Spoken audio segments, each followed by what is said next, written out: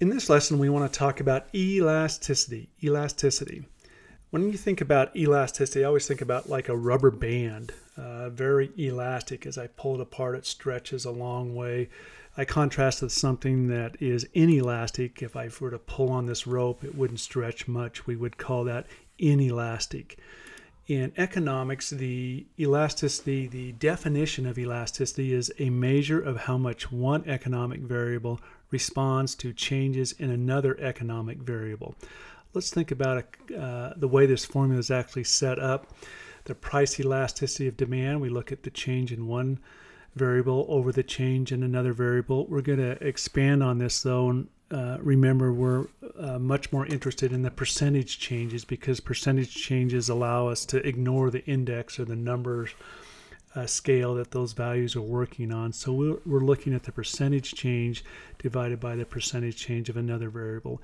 With price elasticity of demand, we want to look at the percentage change in quantity demanded over the percentage change in price. Note that it's quantity demanded, not demand, quantity demanded. Um, that would be a movement up and down the demand curve as price changes. So we're just looking at that demand curve, what happens when we change the price to the quantity demanded. Um, I actually prefer the mathematical version of this uh, better. It's much more concise, but there's the English version.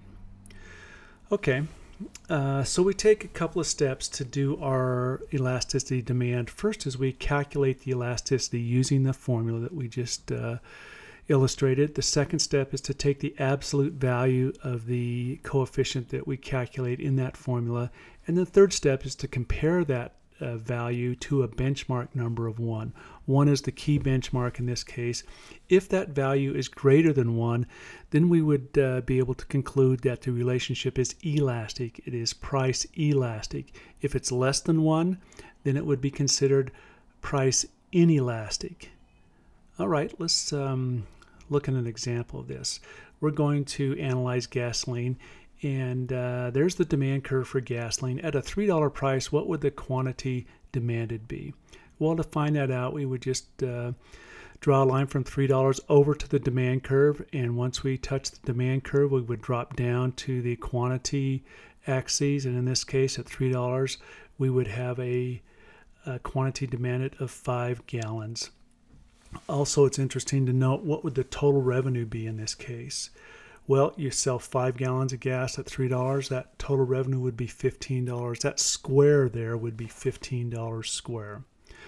All right, we're thinking about raising the price from $3 up to $6. What would the elasticity coefficient be if we were to move from 3 up to 6? Well, uh, note um, the changes there uh, we would drop one gallon of gas by changing the price by $3. But that is just a change. What we're really interested in is the percentage changes, the relationship between those two percentage changes. Let me just put up the uh, elasticity calculator here, and there's our formula. Can we plug those values into the formula? Let's start with the percentage change in quantity demanded. How would we calculate that? Well, remember it's new minus old divided by old. So on the quantity demanded, what's the new quantity demanded? Yeah, it's 4. The old command, uh, quantity demanded was 5, so it should be 4 minus 5 divided by 5. And the uh, percentage change in price, the new price is $6. The old price was $3 divided by the old price. That would give us 6 minus 3 divided by 3 go ahead and do those calculations and we'd end up with a value of minus 0.2 divided by 1. We want to take the absolute value of that. The absolute value of that would be a 0.2. We take that 0.2 now and compare it to our index. Remember what our benchmark number was for elasticity analysis for price elasticity? Yeah, it was 1. That value is less than 1, therefore we would conclude that gasoline is inelastic in that price range. Okay, let's uh, look at another product, ice cream. And we'll put a demand curve out there at $3 a gallon. How many gallons of ice cream would we, would we sell? Well, it looks like we'd sell five gallons of ice cream. at a price of $3. We're thinking about raising that price from $3 up to $4 a gallon. So if we were to do that at $4 a gallon, our uh, quantity would actually decline from 5 gallons down to 3 gallons. Can we calculate the elasticity coefficient with this uh, demand curve? Well, we're going from up that curve. We're actually going to make a movement up that curve as price goes up. Let's look at our calculator. There's our formula. Plugging those values into the formula, the percentage change in quantity demanded would be 3 minus 5 divided by 5.